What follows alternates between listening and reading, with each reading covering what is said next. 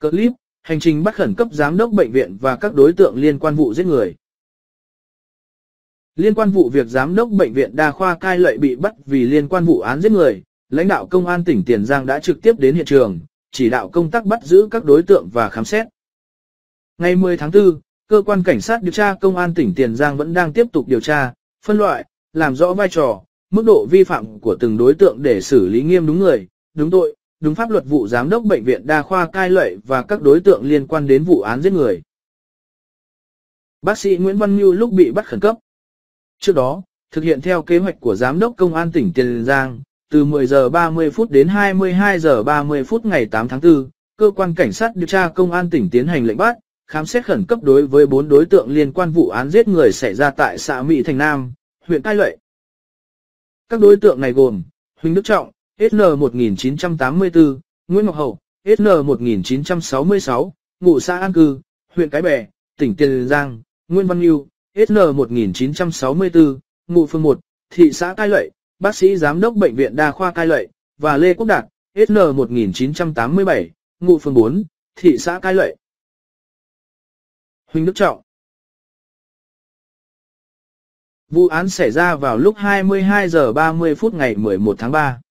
Thời điểm đó, bà vợ tờ mờ, SN 1978, ngụ xã Phu An, huyện Cai lợi điều khiển xe máy chở ông Trần Văn Đê, SN 1962, ngụ huyện Cái Bẻ, lưu thông trên quốc lộ 1. Khi đến đoạn xa Mỹ Thành Nam thì bất ngờ có hai đối tượng điều khiển xe máy từ phía sau vượt lên, dùng dao đâm vào hông bà M. Dù được người xung quanh đưa đi cấp cứu nhưng bà M đã tử vong do vết thương quá nặng. Hai đối tượng gây án đã nhanh chân tẩu thoát trong đêm.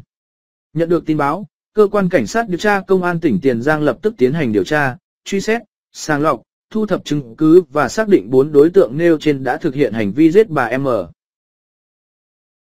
Khám xét nơi ở và nơi làm việc của các đối tượng, cơ quan điều tra đã thu giữ nhiều chứng cứ quan trọng liên quan đến vụ án.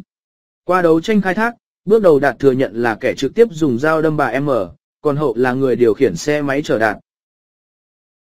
Cơ quan điều tra thu giữ rất nhiều chứng cứ quan trọng liên quan đến vụ án. Đại tá Nguyễn Văn Lộc, Phó Giám đốc Công an tỉnh Tiền Giang, đã trực tiếp đến hiện trường, chỉ đạo công tác bắt giữ các đối tượng và khám xét. Ông yêu cầu các lực lượng phải phối hợp chặt chẽ trong quá trình điều tra, xử lý để đảm bảo đúng người, đúng tội. Trong quá trình điều tra, công an xác định bác sĩ Nguyễn Văn Nhu chính là người đã thuê các đối tượng khác gây ra vụ việc do mâu thuẫn từ chuyện ghen tuông.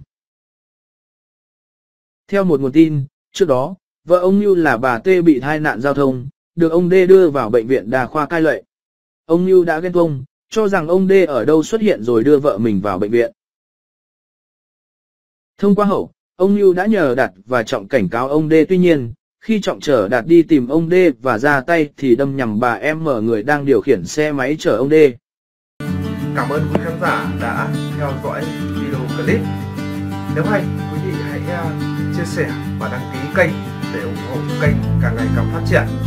Xin trân trọng cảm ơn quý vị rất nhiều.